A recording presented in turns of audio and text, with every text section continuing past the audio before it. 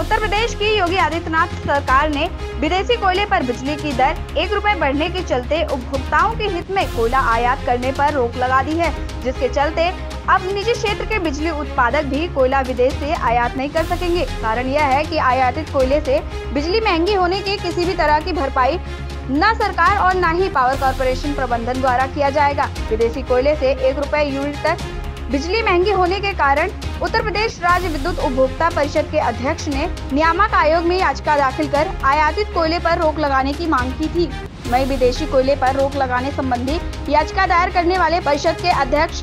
अवधेश वर्मा ने विदेशी कोयला खरीदने की अनुमति न देने पर मंगलवार को मुख्यमंत्री के प्रति आभार जताते हुए प्रमुख सचिव ऊर्जा व उत्पादक निगम के प्रबंधक निदेशक से मुलाकात की।